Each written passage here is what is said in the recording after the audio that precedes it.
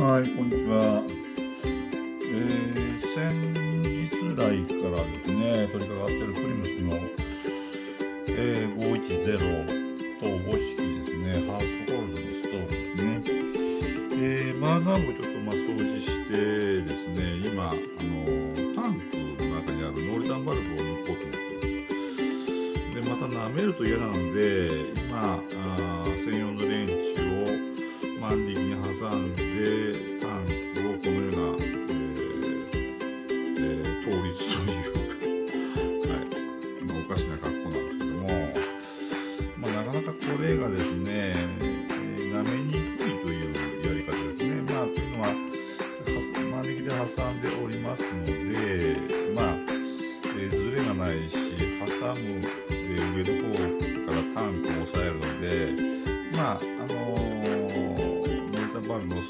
までですね、えーまあ、電池が届くような状況ですので、舐めにくいということですね。はい。えー、まあ、父として進んでないので申し訳ないですけども、なかなかね、えー、いろんなプリムス71やったり、オプマスの111を途中でやったり、ゴルジャゴジャゴジャしとるので、えー、どうしても大きなものは邪魔ですけども、まあちょっと倉庫に掘り込んであるというような状況ですね。はい、これからこれを抜いていこうと思いますけども、はい、こんな状況です。で、これをですね、えーっと、まあ、ちょっと見にくいかもしれませんけども、えー上から力をかけながらね、えー押さえながらあ、回す方向はこっちです。こっちね。こっちの方へ回すということをやりたいと思います。で、これ動くのでしたらね、これ足で押さえながら、ん。と、と、で、今ちょっとやっと力がちょっと抜けたようなね。なんかね、このバーナー本体もね、なんか変な、えー、ロックがかけてあるような、はい、ネジロックみたいにかけてあるような固定されてるような感じでね、あんまりいい感じではなかったんですね、この個体は。うん。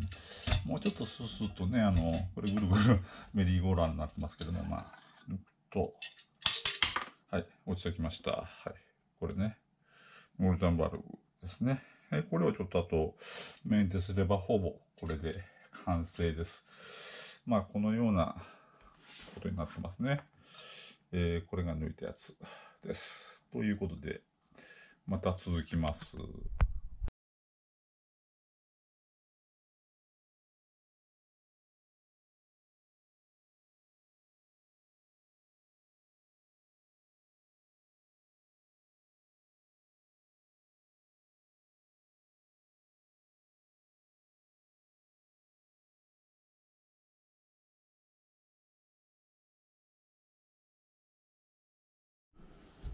はい、こんにちは。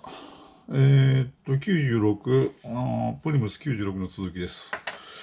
まあ、続きといってもそうやることがないので、ごめんなさい。あの、まあ、ほとんど今、あメンテが終わってですね、あとはもう組み、組み上げというか、まあ、組み上げというほどの大したことはないですけども、えーっと、今、ポンプカップというか、まあ、革カッププにルブカントをつけてですね、まあ、つけてもつけんでもいいような状態なんですけども、とりあえずちょっと、このような、えー本来サラダオイルを入れていくような容器ですけども、私はこの中にリブカントを入れて、リブカントの容器って、まあ、コールマンから発売されているリブカントの容器はですね、まあ、あのー注ぎ口から、まあ、ごめんなさい、実物がないと分かりにくいかもしれませんけども、まあ、えーこのような感じで入っとるわけですね。はい。で、実際これを、まあ、えー先端を開けてですね、えー注ぎ込むんですけども、まあ、非常に垂れるというか、まあ、もったいないというかね、あの、加減がなかなか難しいので、えー使ってません。ただの容器です。えー私は基本的には、あリボカンと溶液を、えー先ほどのですね、あのーまあ、サラダオイルの容器にこれに入れて使っております。まあ、この本がね、えーまあ、使用量が少なくて、えーなかなか高いですのでね、リボカントの容器ってね。はい。というわけです。はい、次ですね。え、っと、まあ、漬け込んで、まあ、あこのタンクの中のノーリタンバルブを抜いてですね、ピップは交換しております。はい。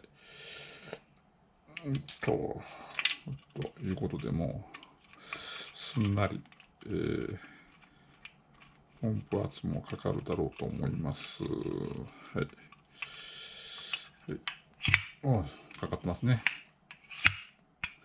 で、えー、フィールキャフィールキャップはですね、えー、まあ、ゴムパッキンを変えました。はい。これね。わかりづらいかもしれませんけども。まあ、あとは、えー、問題のバポライザーですね。バポライザーがですね、えー、まあ、欠品だったんです。で、これが、アフターメイドのですね、えー、バポライザーです。はい。まあ、これを、設置をして、えー、プレヒートカップですね。で、え、チューリップですね。を入れて、え、上にプレートを上げれば、これで完成でございます。はい。